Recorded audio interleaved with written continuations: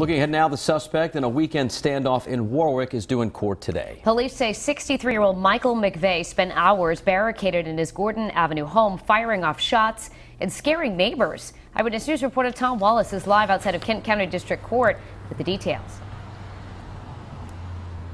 And good morning to you, Danielle and Patrick. 63-year-old Michael McVeigh is scheduled to make a court appearance here at the Kent County Courthouse sometime later today. Now, one neighbor told us she was scared to death when a SWAT team asked if they could set up inside of her home. Our cameras were rolling as McVeigh surrendered to police, handcuffed after a multi-hour standoff in the Oakland Beach neighborhood of Warwick. Police say it was a domestic dispute at this Gordon Avenue home. Neighbor Richard Russell called 911 after hearing gunfire around 8 o'clock Saturday night. Police say McVeigh barricaded himself inside his home. Outside, police and SWAT teams filled the street. I saw a woman in the road and another young lady up here further turned out to be a daughter screaming at her, get out of there, mom, get out of there. A couple, at least two shots were fired. Um, as officers arrived, they did hear uh, an additional shot that was fired.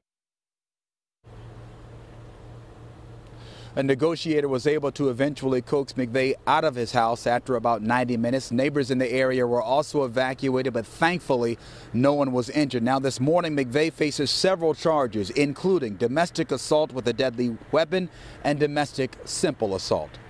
Reporting live in Warwick with the Mobile Newsroom, Todd Wallace, Eyewitness News.